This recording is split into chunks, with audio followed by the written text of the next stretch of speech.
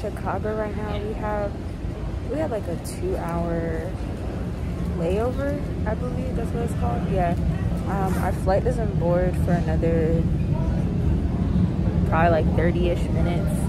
Um, but we're kind of just chilling. We're at the Midway Airport. I don't know. I've been to Chicago twice, and I've been to the O'Hare, and I've been to the Midway, and I don't like either of them. Like, I, these airports, I don't know. What can I say? I love a good BWI. Atlanta airport's growing on me, but there's just like no food options here. None. And everything just, it's so dated. I don't know. That's not like, that's not their fault. It's just, I love a modern look to things. But yeah, the next time I'll see you, I'll be in LA.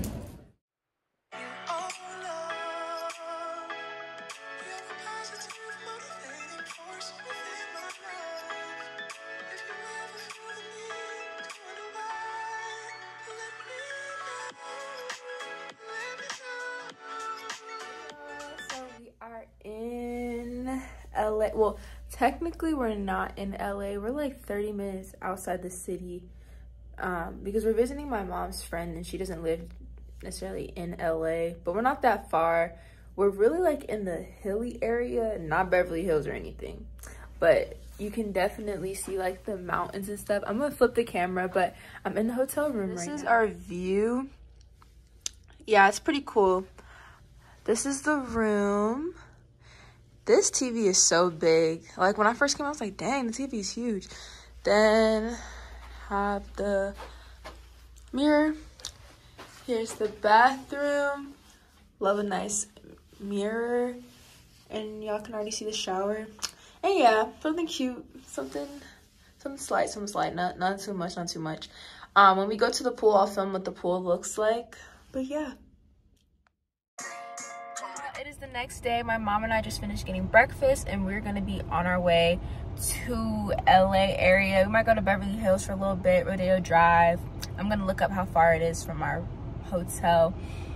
But yeah, you know, I'm gonna be filming the views, best believe. The breakfast place was really good. It was cute, not really busy. So it was like very much like in and out. Like we didn't have to wait too long, which I really liked. And yeah, I'm just soaking this all in. It's a beautiful day in California right now. Like it's probably almost 80 degrees, but there's a slight breeze so it doesn't feel too hot. I'm just glad to get out the cold because it was cold back home and it's crazy because it was May. Like, it's ridiculous, but we're ready.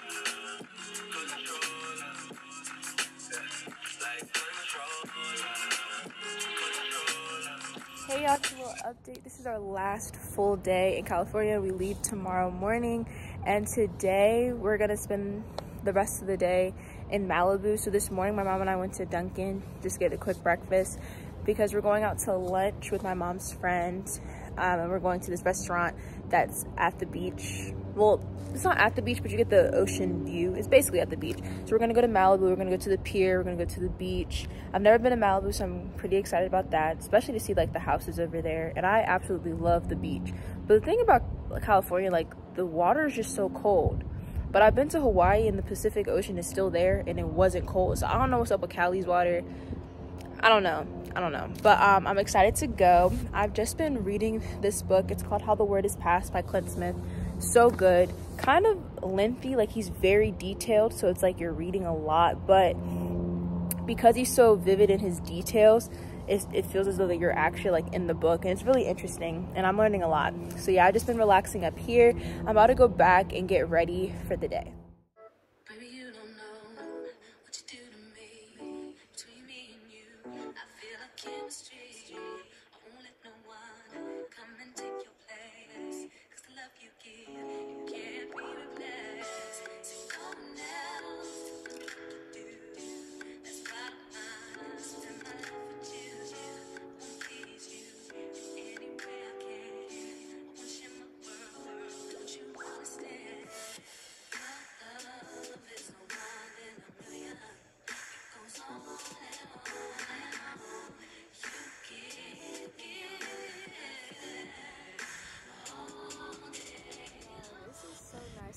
Was amazing. I got salmon. Well, first we started off with ahi tartar, like for the appetizer. Then I got salmon, and then I got this pot, pot de creme. It was salted caramel butterscotch. It was so good, and I just love the beach. And I'm here right now, but I want to change my shoes because I don't want sand in these sandals, but the beach is just so nice. It's so calming, so pretty. I see why people live here. Like, this is definitely a vacation home if I could have it, if I could live here for vacation, I'll be pretty content with life.